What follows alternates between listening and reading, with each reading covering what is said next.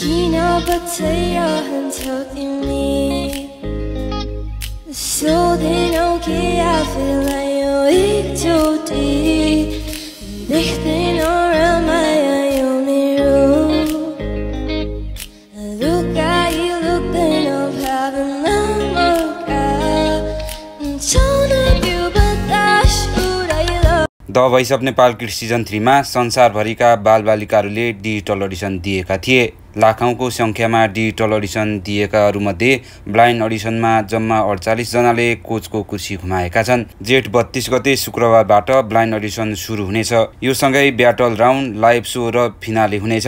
साउन बत्तीस गते हुने फिनालेमा voice of Nepal kid season थ्रीले विजेता पाउनेछ। दुई महिनासम्म चल्ने यस सोमा नयाँ फर्मेट थपिएको छ। भोइस अफ नेपाल सिजन फाइभमा जस्तै यो सिजनबाट भोइस किड्समा पनि कोचहरूलाई ब्लकको अधिकार प्रदान गरिएको छ। यस सोमा कोचहरूमा प्रमोद खरेल मिलन नेवार र नयाँ कोचमा मेलिना राई र छेवाङ लामा आउने भएका छन्। भोइस किड सिजन थ्रीमा नेपाल लगायत भारत अमेरिकाबाट पनि बालबालिकाहरूले सहभागिता जनाएका छन्।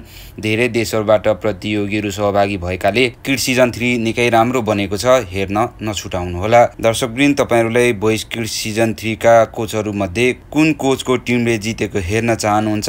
तलको कमेन्ट बक्समा कमेन्ट गर्नुहोला र यो भिडियो तथा जानकारी मन परेमा भिडियोलाई लाइक सेयर र हाम्रो च्यानललाई सब्सक्राइब गरेर हामीसँग जोडिनुहोला।